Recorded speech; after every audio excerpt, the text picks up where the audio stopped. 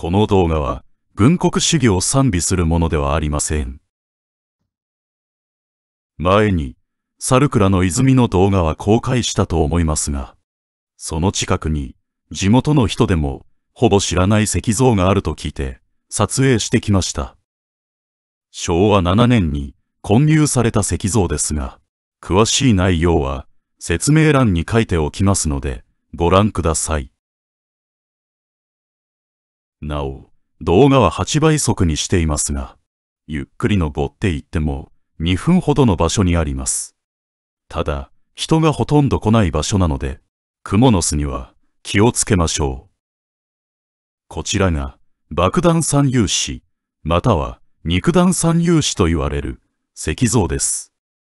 このような場所になぜ石像があるのかお分かりになる方がいらっしゃいましたら書き込み欄へお願いします。地元に長く住んでいる人でもこの石像の存在は知らないことを考えると歴史から隠されている存在のように思いました。石仏などと違って何とも不思議な感じのする石像でした。横の石に昭和7年11月22日建立と書かれています。